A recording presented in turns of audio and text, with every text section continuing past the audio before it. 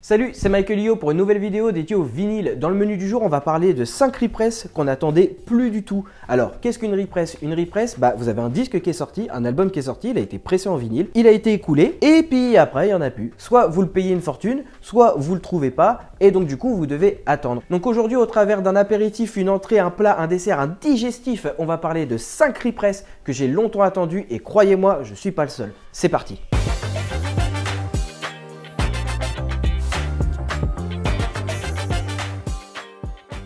Et pour l'apéritif de ce menu, je vous propose de commencer directement avec du hip-hop, Wu-Tang Enter the 36 Chambers. Cet album, vous allez me dire, mais attends, mais mec, ça se trouve partout. Eh ben en fait, oui et en même temps non. C'est un album qui est sorti au tout début des années 90. Le hip-hop était en train de légèrement évoluer pour devenir quelque chose de beaucoup plus social, de beaucoup plus dark et de beaucoup plus lent. Et le truc, c'est que bah, ces neuf gars-là, ils commencent à faire leur album et ils ont pas trop de moyens. Et le truc, c'est que ça se ressent clairement dans la production. Ce qui est bien parce que ça donne vraiment une couleur, un son à l'album, aussi à une époque. Le problème, c'est que le pressage vinyle, il est dégueulasse pour un original. Et petite anecdote, j'ai eu l'original et je l'ai perdu.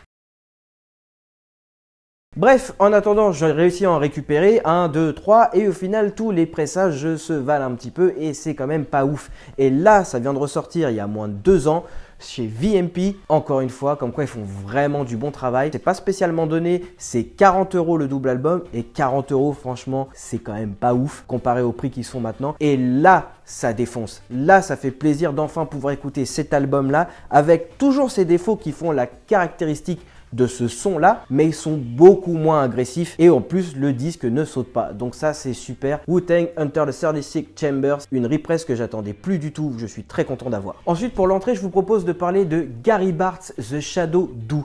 Si je me trompe pas, c'est son cinquième ou sixième album. Si vous êtes fan du jazz funk des années 70, ce saxophoniste, il est fait pour vous. Et punaise, quel saxophoniste Le gars est un destructeur de monde, c'est un tueur. Cet album-là, il était beaucoup trop dur à trouver et beaucoup trop cher pour une seconde main. Le gros problème en fait, c'est qu'avec ce type d'artiste-là, dans cette période-là, les gens qui écoutent ce style de musique, quand ils les ont, ils les revendent pas, ils s'en séparent pas. Et donc du coup, trouver un original, ça frôlait l'indécence. On était à plus de 200 euros et c'était clairement abusé. Et là, il y a un label que vous devez absolument suivre qui s'appelle Jazz Dispensary qui ressort que des grosses pépites, des grosses dingueries et pour des prix vraiment de dingue. Ça, c'est une trentaine d'euros. Moi, j'ai la version en collaboration avec VMP encore une fois, mais ça se trouve directement chez Jazz Dispensary, ça se trouve chez votre disquaire local, ça se trouve partout. Le son est incroyable. Ils font ressortir des trésors qu'on attend depuis super longtemps. Donc foncez Gary Bars, The Shadow Do, ça déchire. Pour le plat principal, ceux qui suivent un petit peu la chaîne savent que je suis fan du groupe Jamie Rockway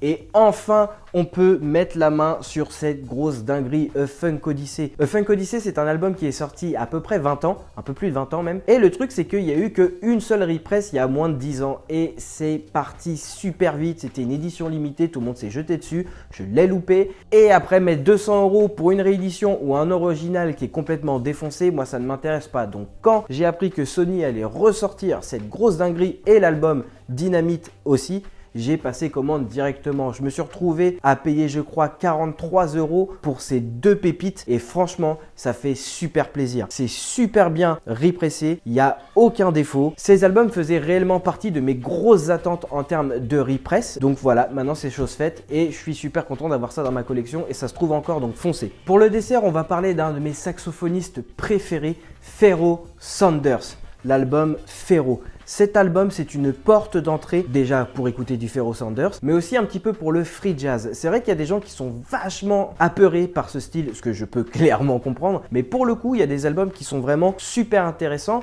et qui sont pas si difficiles que ça à écouter. Cet album en fait partie. Ferro Sanders, l'album Ferro, on attend une repress depuis super longtemps. Les originaux étaient pas non plus non plus inaccessibles, mais c'était pas spécialement donné. Donc du coup, quand ils ont annoncé une repress et que en plus c'était sous forme de box, j'avoue qu'au début, j'ai eu un petit peu peur parce que les box, moi, ça me fait souvent peur. Et là, franchement, la qualité est au rendez-vous. Il y a énormément de goodies et pourtant, les goodies de base, je m'en fous. Mais là, on a carrément des photos à l'intérieur. On a une affiche de concert. On a encore d'autres photos. On a un livret. Il y a vraiment plein de choses super intéressantes dans cette box. Et pour le coup, le prix qui est de 49,99€, c'est sûr que c'est pas donné. Mais vu tout ce qu'il y a à l'intérieur de la box, et en plus on a un deuxième vinyle avec deux lives du morceau phare de l'album Ferro qui est Harvest Time, franchement, ça vaut largement le coup. Vous avez deux disques, vous avez une box, plein de goodies, le son est super bon. Allez écouter ça, chopez-le avant qu'il n'y en ait plus. Le Dijon, la goutte, le feu, vous appelez ça comme vous voulez, mais pour terminer ce menu, il faut qu'on parle de Paul